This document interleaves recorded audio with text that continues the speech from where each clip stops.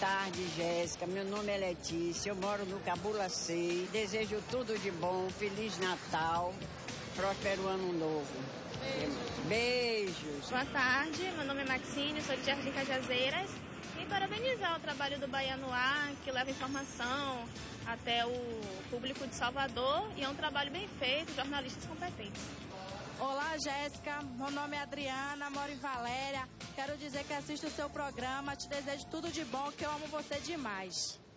Um beijo muito grande para todo mundo de Valéria, das Cajazeiras, do Cabula 6, para toda Salvador interior desse estado que nos acompanha meio-dia oito. Um beijo também especial para o pessoal do Jornal Tarde. Mostra aqui, olha, como parte das comemorações do centenário do Jornal Tarde, que é o jornal mais tradicional da nossa Bahia. Vai ser lançado hoje este livro, Um Século de Jornalismo na Bahia. Parabéns a todos do Jornal Tarde por mais esse lançamento e pelos 100 anos de história de história e de informação para todos nós. Meio-dia e oito, olha, uma garota de programa viveu momentos de terror nas mãos de um cliente.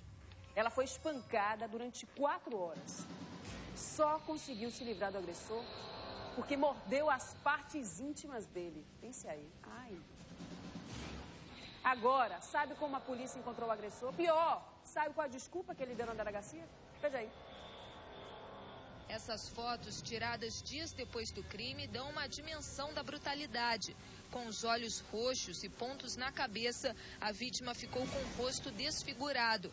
Foram pelo menos quatro horas de espancamento. A vítima, esta garota de programa. Que... Ele parou, aí a minha colega mandou eu ir. Aí eu fui, conversei com ele. Aí ele, quanto que é o programa, assim? Eu falei, 30 reais ali no Matinho, que a gente tem um lugarzinho lá. Aí ele tirou, na mesma hora ele te dou 100 para você ir no hotel comigo em Seropédica. A mulher então saiu da rodovia e foi levada de carro para um matagal no alto do morro, a alguns quilômetros daqui. Lá, ela teria sido amarrada e violentada. O homem passou a consumir drogas e obrigou que a mulher também usasse. Para fugir da sessão de tortura, a vítima então começou a agredir o estuprador e até mordeu as partes íntimas dele. E batendo com o negócio dele na minha cara, eu entrei em desespero e mordi, mordi, ele dando soco na minha cara, muito soco, me batendo muito, eu caí. Ele conseguiu pegar a arma e eu pulei em cima dele Consegui lutar com ele, rolando naquele meio do mato. Aí ele pegou, me deu muita coronhada, muita coronhada, eu desmaiei. O suspeito é este homem. Gilmar Inácio de Oliveira, de 39 anos, foi hospitalizado e teve que levar pontos nas partes íntimas.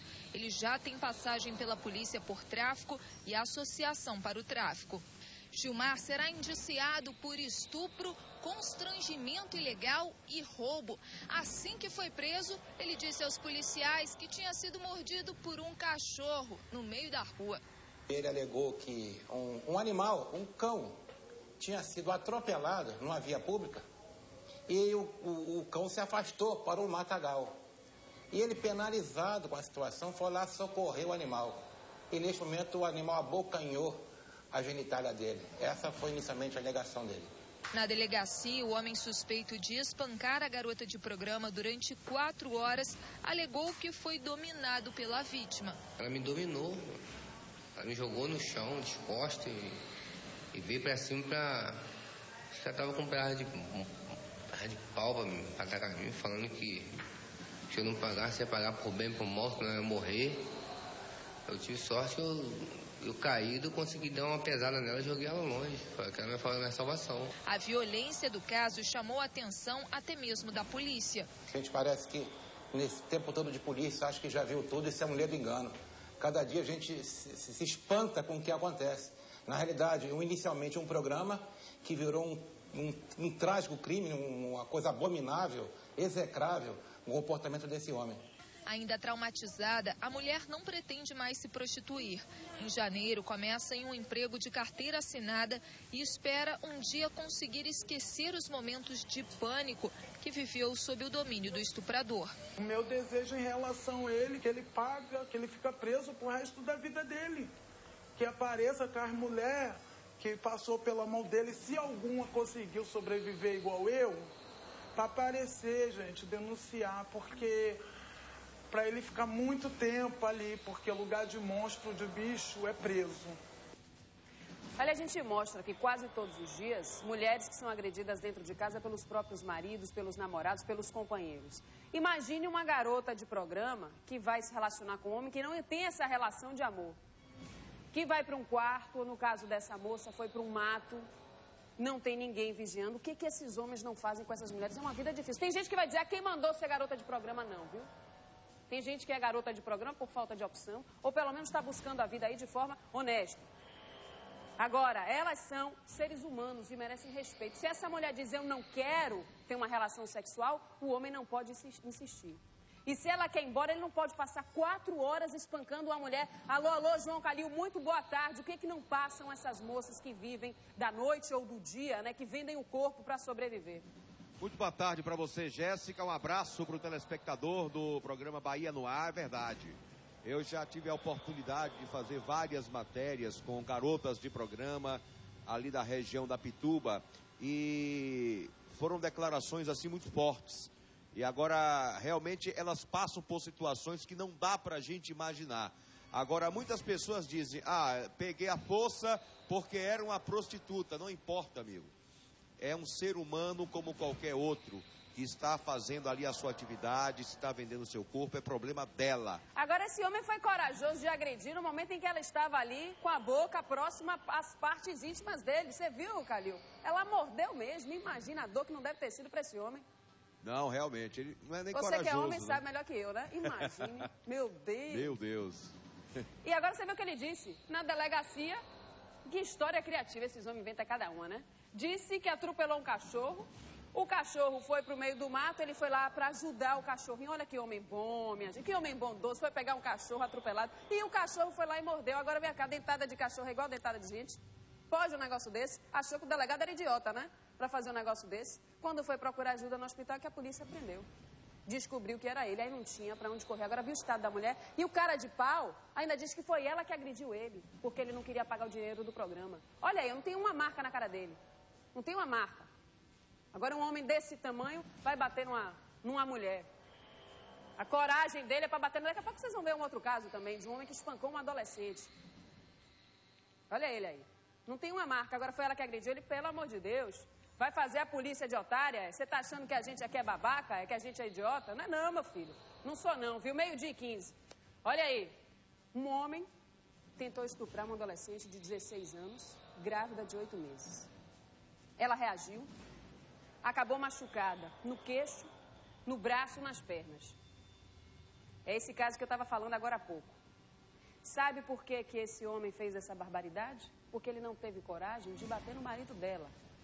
Ele queria atingir o marido dela, acabou batendo nela. A covardia, uma adolescente grávida de oito meses. Olha só essa história. Eu da minha filha, eu falava, pelo amor de Deus.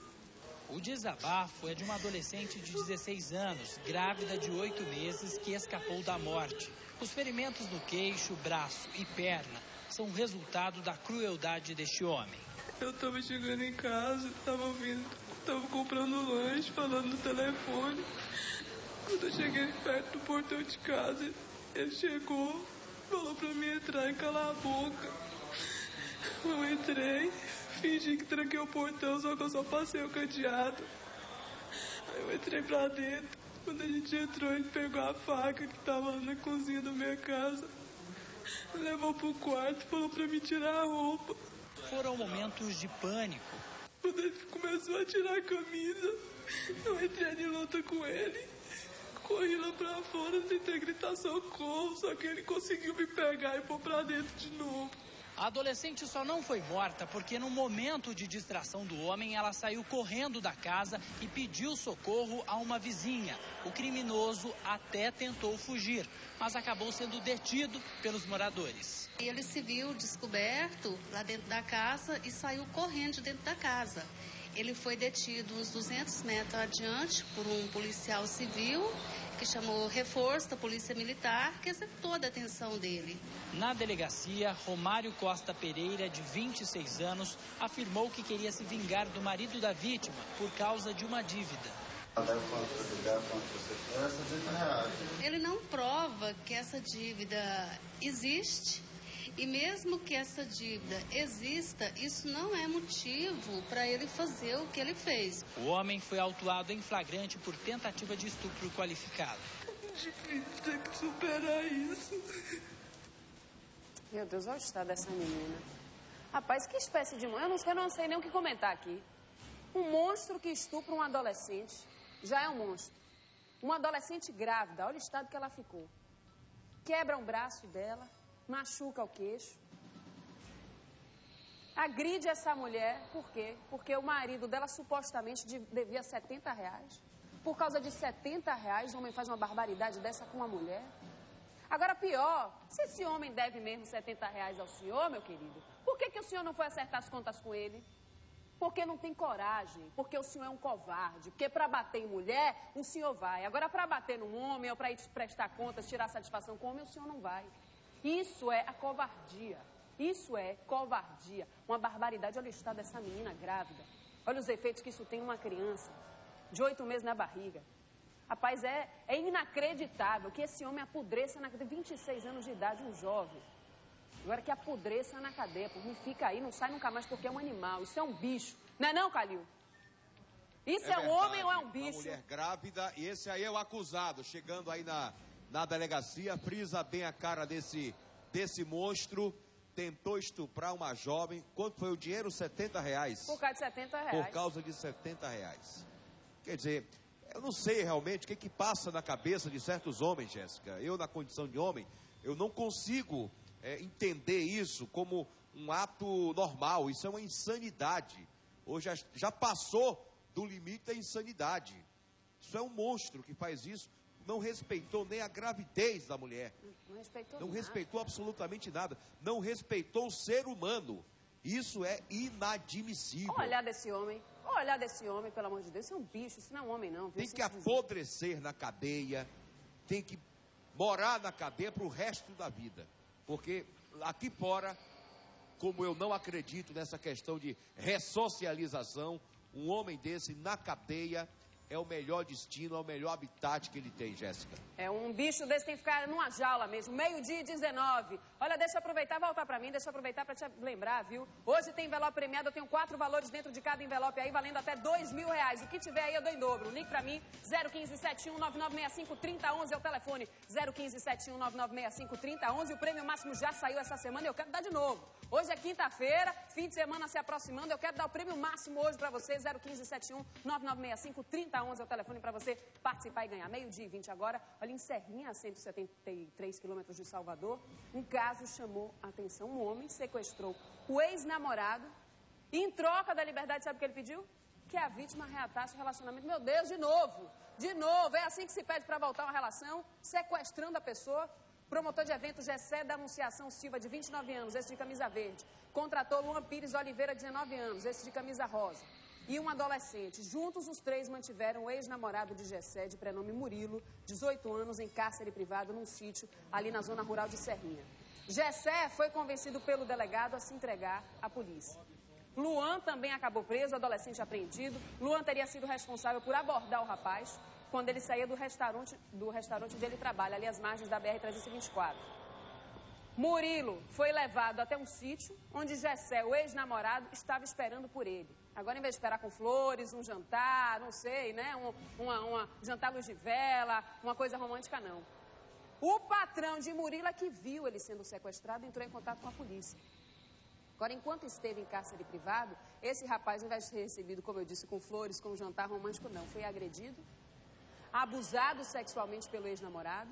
Essa aí, ó, as armas, essa arma, essas algemas foram usadas no crime, essas cordas, vela, olha álcool, tudo que a polícia apreendeu.